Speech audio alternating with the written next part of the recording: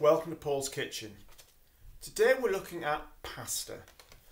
You should have a recipe with the equipment you need, the ingredients and the instructions and you should also have a worksheet to work through.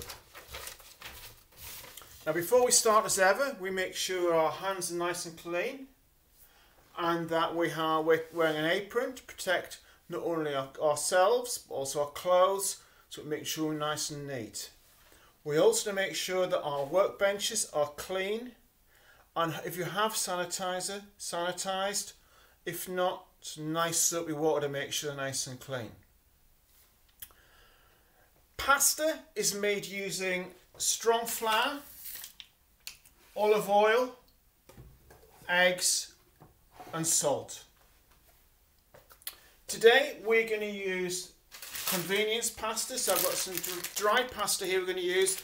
I bought from the supermarket. We have frozen pasta, we have fresh pasta. But today we're going to use dry pasta. Now if we go through our actual equipment we need, we need some measuring scales, we're going to need some knives, we're going to need cheese board, a cheese grater, we're going to need some containers and we're going to need some pans. Now I'm going to use a frying pan to cook my mince off. You could use a pan. And we'll also need a pan for uh, cook our spaghetti off and a spoon. So to start with, you can see that I've actually got all my ingredients out ready. And we're going to now go through preparing the ingredients. So you can see here I've got my board nice and neat. Now it says on the recipe to need one small onion. So if your onion is a large onion, like me, I've cut that in half. So the first thing you're going to do is you're going to peel the onion, get all the outside skin off it. And, but you're not going to take off the root at the back like we've done before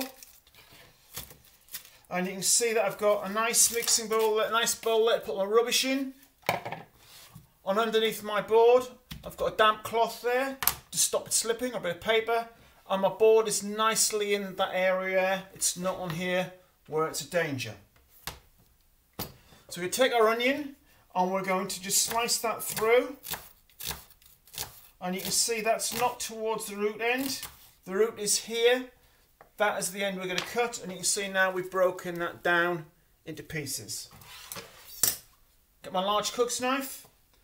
I'm going to very nicely get as fine as I can and slice that down. And you can see that my knife is not actually leaving the board there. Staying on the board all the time. And cut my onions. Rubbish in that bowl and then we're going to get my onions and put them into my bowl here. The next thing I'm going to do is my carrots. I've got a couple of carrots here, they're quite small these carrots. We're going to peel them down very quickly.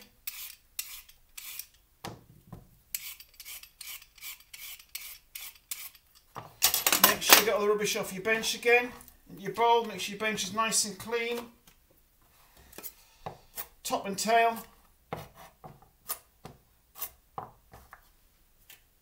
And then we put your knife through through the side like that. And you put your hand there either side of your carrot so it doesn't slip. And again, either side. So into quarters. And then as fine as you can along like that. And all the time, see, again, my knife is not leaving the board. And I'll do the same with the other one. Fingers like that across. Down like that. Into quarters. And across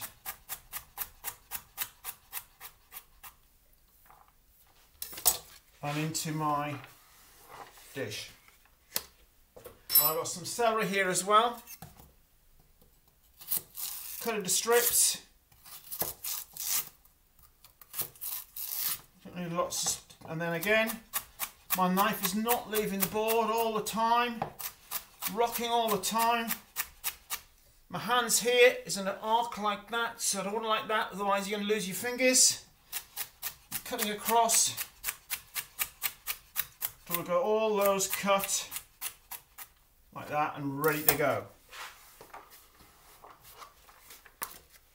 The next thing we're going to do is we're going to peel our garlic. Let's get a little bowl, put the garlic in. So we're going to peel our garlic back.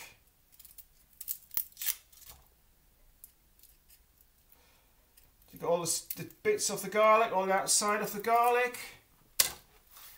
My bench is still clean, you can see nothing else on my board apart from the one knife and the garlic. And we're going to cut that through like that. I'm going to get that really quite fine. Again, see my knife is not leaving the board at all. It's all the time. So we don't want a, we don't want a big lump of garlic in there, so make sure you got all nicely cut up, so it's all nice little bits. Like that. Take your garlic off. That there. So that's our, our, our white, our, our onions, our carrots and our celery cut. Our garlic cut. The next thing we do is check our mince. So first of all, we need to make sure it's safe. So we make sure it's in date. I'll cut it around. And the thing we can do is make sure that it smells alright, looks a nice red colour. And that. And the other thing we need to do is we need some oregano. Also I've got some tin tomatoes there and our salt. So I've got all the ingredients laid out and the next thing we're going to cook our dish. So when you come back we're going to start cooking our dish.